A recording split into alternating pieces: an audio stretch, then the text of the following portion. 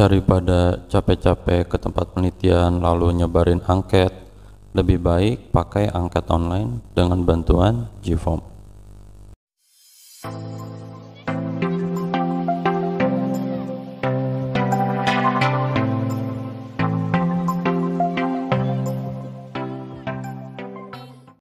langkah pertama buka dulu google.com kemudian di pojok kanan atas kan ada lambang yang segi empat ini. Lalu diklik pilih drive. Setelah drive nya terbuka kemudian klik di sini uh, baru. Lalu nah, di lainnya diklik. Di sini ada Google Formulir lalu ini diklik aja Google Formulirnya. Untuk membuat angket penelitian ada dua yang kita bisa gunakan. Pertama itu adaptasi yang kedua itu adopsi. Adaptasi itu kita pakai dari salah satu angket penelitian yang sudah digunakan oleh para ahli. Terus kita modifikasi sesuai dengan penelitian kita. Tapi yang kedua kita pakai adopsi adopsi itu pakai penelitian angket yang sudah digunakan oleh peneliti sebelumnya plug tanpa diubah sedikit pun. Umumnya untuk mahasiswa satu pakai yang adopsi pakai yang benar-benar dipakai oleh ahli. Nah di sini saya ambil salah satu contoh penelitian yang sudah digunakan oleh salah satu mahasiswa bimbingan saya di tahun 2019 ini mahasiswa tersebut menggunakan penelitiannya angketnya itu masih manual datang dibuat di laptop diketik kemudian di print kemudian datang ke uh, tempat penelitian lalu disebarkan kemudian dikumpulkan lalu uh, diproses uh, dengan menggunakan aplikasi statistik. Nah ini saya scroll uh, angketnya. Nah ini yang akan kita ubah jadi ini judulnya tuh ada X1 nya persepsi viskus.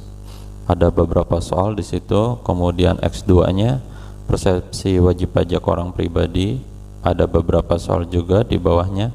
Terus yang ketiga itu uh, Y nya penerapan e-billing. Di sini juga ada beberapa item soal. Nah ini akan kita ubah. Kita langsung saja adopsi semua soalnya dari nomor 1 sampai nomor 24 untuk yang pertama kita ubah dulu tentang bagian satu karakteristik responden. Nah di sini kita ubah formulir tanpa judul. Nah ini kita kasih judul bebas teman-teman mau ngasih judul apa. Di sini saya ikuti saja dari angkat versi cetaknya. Judulnya misalkan saja di sini kuesioner penelitian skripsi. Maka saya tulis kuesioner penelitian skripsi. Atau biar cepat di sini saya cepat saja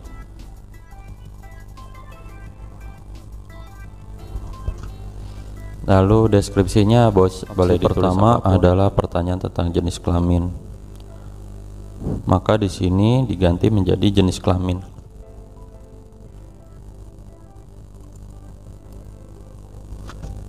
Lantas di opsinya itu hanya ada dua yaitu laki-laki perempuan maka kita pilih opsinya yang mudah yaitu centang saja misal lalu di sini diklik laki-laki dan perempuan.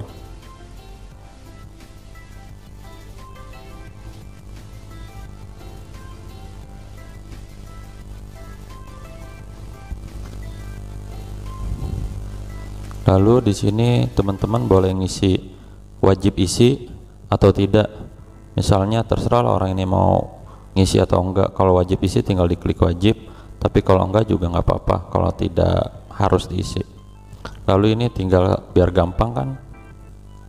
Pertanyaan lain kan juga pakai poin-poin tuh ya.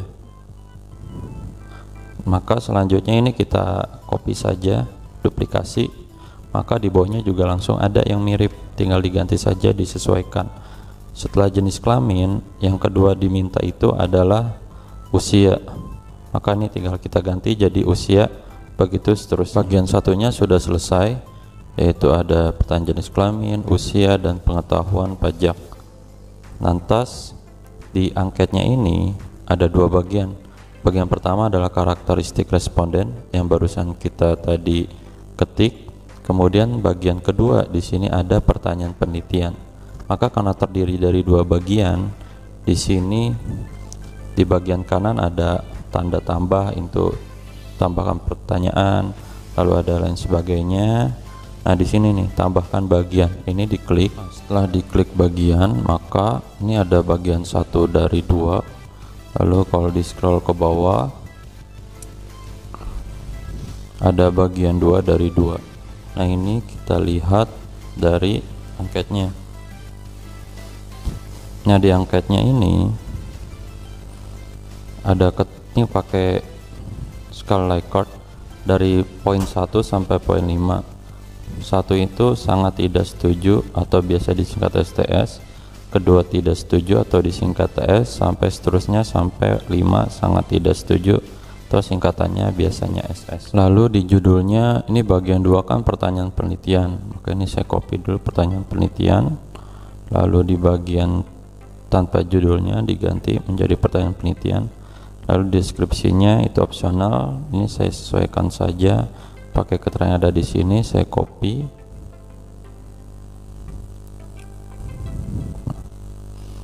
Lantas beri tanda tambah ini tambahkan pertanyaan maka akan muncul di bawahnya pertanyaannya. Pertanyaannya itu yang pertama adalah tentang persepsi viskus maka ini kita copy saja pertanyaan item nomor satu di sini nomor satu. Kemudian pilihannya jangan pilihan berganda karena ini pakai skala dari uh, yang di atasnya ini. Pakai skala dari satu sampai 5 maka ini kita ganti jangan pilihan ganda tapi pakai skala linear. Nah muncul 1 sampai 5 satu itu apa? Satu itu tadi sangat tidak setuju. Maka taruh di sini satu sangat tidak setuju kasih labelnya. Lalu yang poin 5 adalah sangat setuju. Di copy juga. Lalu ditaruh di sini. Lalu di sini sama pilihannya tadi apakah wajib diisi atau tidak. Kalau wajib diisi misalnya nih tandanya diubah lalu untuk memudahkan nih kita duplikat biar tidak ngetik-ngetik lagi. Lalu kan muncul pertanyaan untuk selanjutnya. Yang selanjutnya itu kan nomor 2 nomor dua caranya sama kayak tadi tinggal kita copy copy copy terus sampai 24 pertanyaan.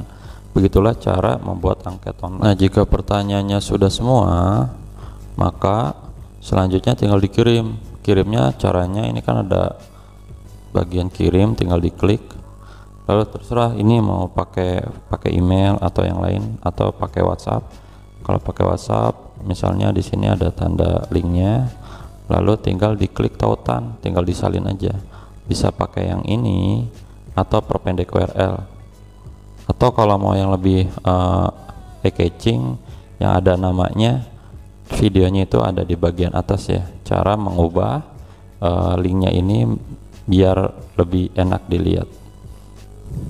Atau kalau mau tetap seperti ini ini tinggal klik saling udah tinggal masukin di copy di WhatsApp. Demikian caranya